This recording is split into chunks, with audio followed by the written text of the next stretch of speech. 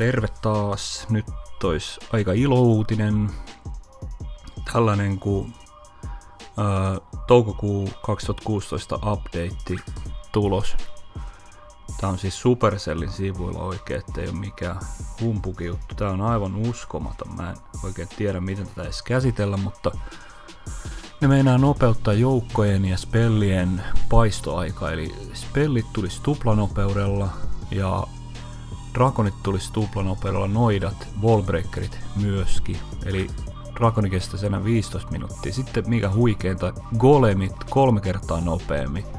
Laavahoundit kolme kertaa nopeammin, Pekka kolme kertaa nopeammin, eli tuleeko nyt sitten 15 minuutissa? Se on aivan tajuton. Mä siis... Sitten vielä herojen regenerointiaikaa nopeutetaan. Pallot, pallot, no äh, valkkyriet, wizardit, healerit ja bowlerit nopeutuu. Ei kerrota kuinka paljon. Sitten täällä sanotaan vielä erikseen, että jos vetää Gemboostin äh, näihin parakeihin, parakkeihin, niin ne siltikin no, puustaa nelinkertaisena. Mä en tiedä, onko ne vetänyt tuplana ennen, mutta nyt ne puustaa nelinkertaisena, ihan kuinka vaan. Ja sitten bowleri saa vähän jotain pientä jeesiä ja jotain näille huippupelaajille. Eikö hetki, time reach bla bla. No jotain, jotain mikä nyt ei ainakaan mua vaikuta, mutta tämä vaikuttaa, tämä ylempi rivi, tai toi pätkä tos, eli tää haiskahtaa vähän, että voisi jopa nostella. Kun suurin kynnys on mulla ollut nostelujuttuihin se, että mä en oo, ja mä en jaksa vaan istua pädin ääressä kesällä. Nyt se voisi olla mahdollista, se on kolme kertaa nopeammin, sitten vielä game boostit, niin sehän tarkoittaa, että se menee aivan älyttömällä nopeudella. Mut joo. Meillä on täällä sota menossa. Mä vedin ekan hyökin tohon. Meni ihan jees. Mulla oli tarkoitus vetää live raidin, mutta se keskeytyi. Tuli porukat, porukat tänne yläkertaan häslää jotain. Katon toi nopeutettu, mutta tää oli TH8 tässä, no ei oo paljon. EQ sinne ja kolemit. Plaanilinnasta mä en pahemmin piitannut. Sitten hogit tuolta kello kymmenestä kahdessa eri laumas ja hiilee sinne tänne ja se oli oikeastaan siinä. Tossa ei ollut mitään ihmeellistä, mutta sit mä vedin äsken vedin äsken live raidin, tai vedin, meinasin vetää live raidin, mutta feil, feilasin sen tosiaan, kun tänne tuli porukkaa ja häslää jotain. Mä nyt kerron nopeasti, mitä tässä oli ideana. Tuolla oli tuplapommit näiden välillä. Sen mä, sen mä olin nähnyt, kun se oli hyökännyt tänne jo. Niin mä ajattelin, että mä lähden tuolta golemella tuolta ylhäältä, vielä EQ tohon, tohon noin keskelle. Saan aika hyvin auki. Sitten mä laitan hogit täältä laidalta ja näin poispäin. Mä olin tätä jo hetken aikaa tuijottanut tätä beisseä, mutta kuinka se lähti menee, niin EQ sinne, kolemit, sitten Wizardeja, viuhka, odottelin snadisti, sitten mä pistin vähän wallbreakereita, eikö, joo pistin wallbreakereita, valkyriet. Sitten mä laittoin hiilin sinne ja hiilin noille, ne lenti taivaan tuuliin. Kole, eikö nämä hogit kuoli heti hyökkäyksen alkuvaiheessa. Ja sitten tää menikin, mä joudun hiilaamaan jotakin aakuuta tuolla ja se oli kyllä aika epätoivosta. Prossat mä sain tästä, mutta ei se nyt paljon lohduta. Kolmosta mä lähdin hakemaan ja... Mutta tää meni tälleen. Oikeastaan hyvä kun en nähnyt. Katsotaan sitten täältä joku oikein. Katsotaan täältä joku. Noin noita Buoskan accountteja. Katsotaan vaikka Mikey Ripley. Tällainen matalan TH9. Matalan TH9, sieltä lähettää. Tää on muuten koho. Oikein kunnon koho, siellä on reilusti hokeja.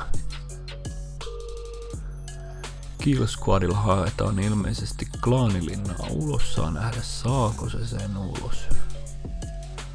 AQ, AQ lähtee nyt.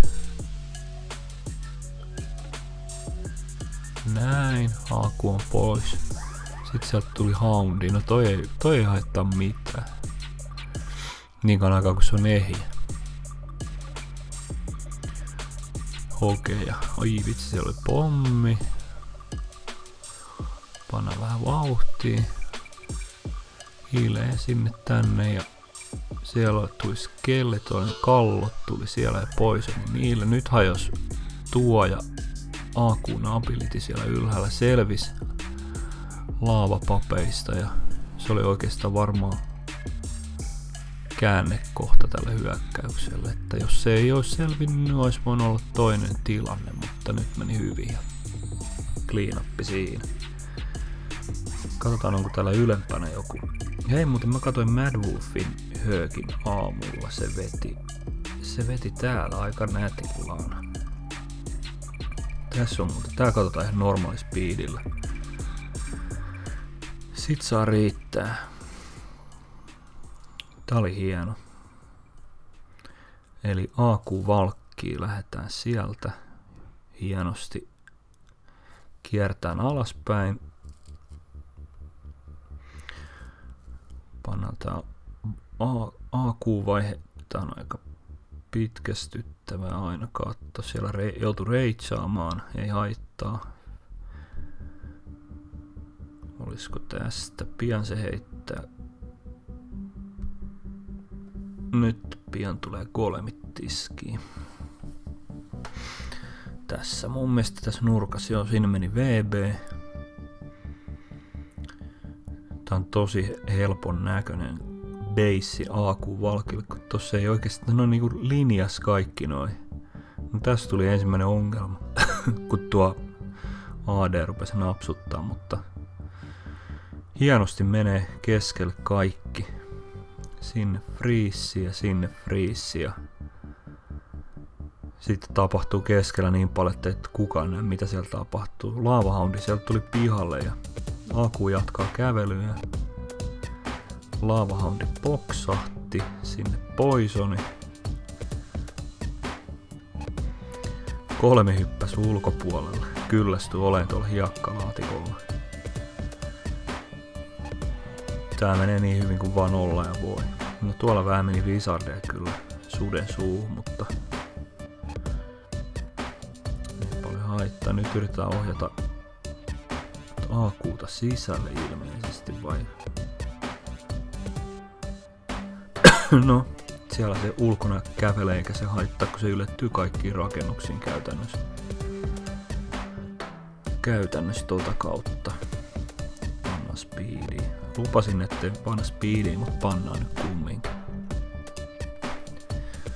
Yritetään saada nopeasti tää. Tää oli hieno hyökkäys. Molemmat herot kunnos. Se päättyi siihen. Wolfilla rupeaa olemaan nämä herotkin ihan kohtalaiset. Eikö hetkin? Joo, on. 30 herot molemmat, että sinne tähdätään itsekin.